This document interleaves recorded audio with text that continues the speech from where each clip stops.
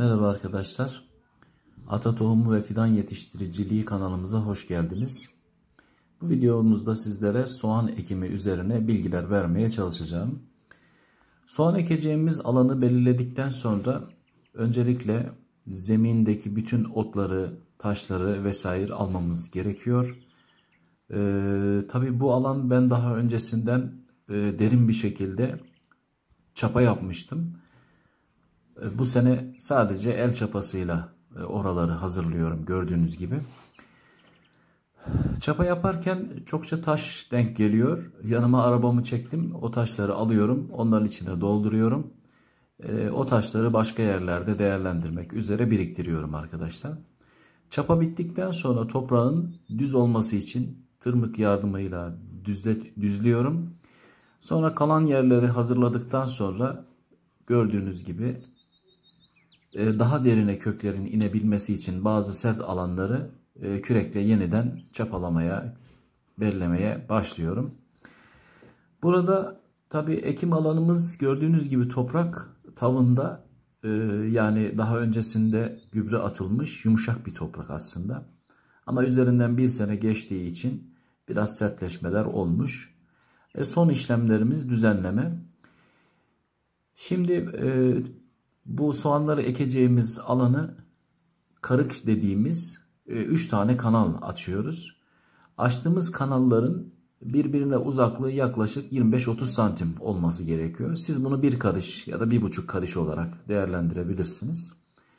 E, gördüğünüz gibi ben e, damlama sistemi de kullanacağım için uzun karıklar tercih ediyorum. Burada 3 karık hazırlandıktan sonra çapayla oraları biraz daha yükseltiyorum ki soğanları o yüksek alanlara ektiğimizde e, kökleri biraz daha derine inebilsin ve daha verimli ve daha büyük e, meyveler, sebzeler elde edelim diye.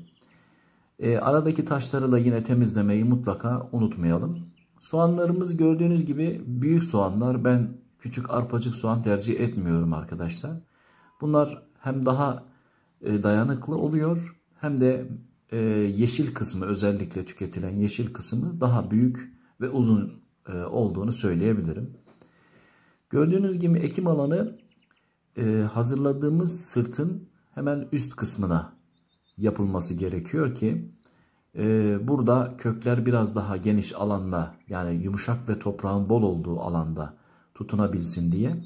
Hem de toplama yaparken veya çapalama yaparken e, meyvenin zarar görmemesi için aralarda yürüyebilmek adına da böyle bir kolaylık sağlanıyor. Gördüğünüz gibi arkadaşlar bu soğanları ben çok fazla derine ekmiyorum. Sadece köklerinin toprakla buluşmasını sağlıyorum. Şöyle göstereyim. Çok fazla bastırmaya gerek yok. Toprağın yaklaşık 3 santim altına girmesi kökün yeterli.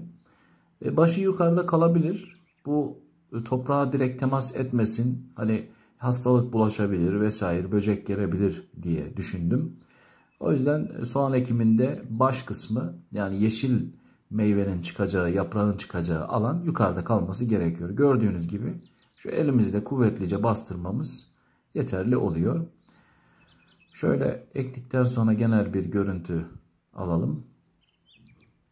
Araları arkadaşlar iki parmak arası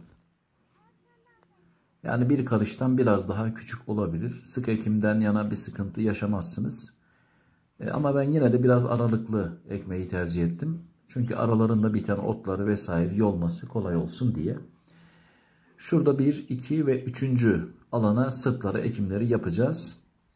Şimdi diğer alanlara geçelim. Şu kısmı da daha sonra salatalık veya acur ekimi için kullanacağım. Birbirini destekleyen e, bitkiler olduğu için. E, orta sıranın da hızlıca ekimlerini yapalım. Ee, arkadaşlar beğenmediğim yerdeki e, toprakların ve taşların olduğu yerleri çıkarıyorum. Bakın burada gördüğünüz gibi bu soğanda kök kısmı kesilmiş. E, çünkü yeşermesin diye muhtemelen satıcı eliyle orayı kesmiş. Biz onları ekmiyoruz arkadaşlar. Buna dikkat edelim. Soğan ekerken de kabuklarını e, soyabilirsiniz. Ben bazılarını soyuyorum ama soymasanız da bir zararı olmaz. Gördüğünüz gibi iki parmak arası şöyle karıştan daha küçük e, serçe işaret parmağı aralığı kadar ekimde e, faydalı olacaktır. Seki yapmanın bir diğer faydası da arkadaşlar köstebek gibi, fare gibi e, zararlıların o kanal arasında e, ulaşımını biraz daha engellemek. Yani yüksekte olması e, hayvanın onu keşfetmesini biraz daha engellediğini duymuştum.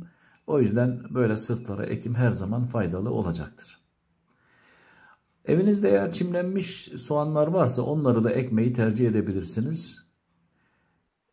Böylelikle 3 sırta da ekimimizi tamamlamış olduk. Bunların e, yeşerdikten sonraki videolarını da sizlerle ileride paylaşacağım. Hoşçakalın.